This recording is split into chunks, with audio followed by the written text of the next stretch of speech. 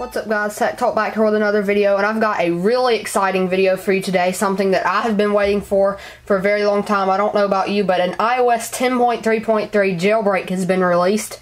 I'm not sure if it will work on iOS 10.3.2, which is what I was on because I was waiting for the jailbreak, but if it doesn't work, I'll just update it. But this video, I'm going to show you how to jailbreak it. This is legitimate. It came out today. Today is Christmas Eve, so let's get started on how to do this. So first what you need to do is you need to download the Helix application or however you say it, I'm not really sure. But you need to download the IPA and save it into the folder that you desire. I'm just saving it in a place in my documents. But you can just leave it in the downloads folder for now. So now what you need to do is you just need to plug your iPhone in. So now all you need to do is back up your iPhone. Well, you don't need to do it. This is optional, but I would highly recommend doing it in case anything goes wrong so you don't lose your data. So now you just need to go to the other link in the description. The um, Helix application will be in the description as well. But you need to go to the Cydia Impactor link. If you have a Windows, click on the Windows tab. And if you have a Mac, click on the Mac tab. I have a Windows, so I'm going to click on that tab. And I'll show you what to do after I download it and save it. Okay, so after you've downloaded the video, you just want to find the folder or the zip file and click, right click on it and click open with and go down to Windows Explorer. And then up in the right hand corner you want to just go ahead and click extract all. And it will bring to you this little thing that allows you to select the destination. It's already selected where I want it for me in this case but you just want to you can click browse and then just click extract and it will extract it and it will automatically open the folder. And then you just want to go ahead and double click on impactor and it will open up. And you just want to go ahead and then after that you want to find your IPA file that you downloaded earlier um, which would be in my documents for my scenario but it might be in your downloads for you. So I'm going to go ahead and find that Okay, so after you found it, you just want to click on the IPA and drag it into Cydia Impactor. Then it will ask you to type in your iTunes login information. That will be your email and your Apple ID password. It is trusted. I have tested it. It does not steal your money. I had that concern myself and I was asking around. It is perfectly safe. It should not steal your money.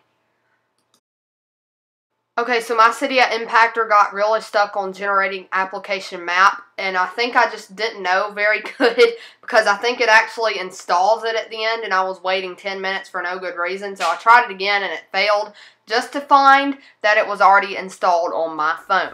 Okay, so after waiting a very long time on Cydia Impactor to install this app, it literally took 8 minutes and didn't work, or it got stuck on generating map application, so I had to try it again and it finally got it. So I got the app right here. Now all you need to do is go to your settings. You need to go to settings. You need to go to general, which I'm already in. And then scroll down to where it says profiles and device management. And scroll down all the way to where you see developer app and it will have your iTunes email. And then you click trust. Trust again and now it is should open so now all you have to click is jailbreak. It says 10.x. So now I just need to click jailbreak. And hopefully it will jailbreak. So I'm pretty sure it's normal for it to say storage almost full. Can just click done.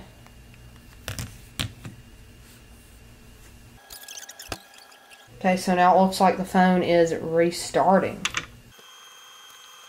Okay, so it has restarted. Let's log into my phone. And Cydia is right there. Let's see, I'm just going to move it to over here. So let's see if Cydia runs. See if it opens. And voila, Cydia works. Hallelujah, right? They finally came out with an iOS 10.x jailbreak for all iOS 10s, I believe. So, that is how you jailbreak iOS 10.3.2 and iOS 10.3.3, and it should work with all iOS 10. So thanks for watching this video, guys. Please like, subscribe, and stay tuned for more. Peace.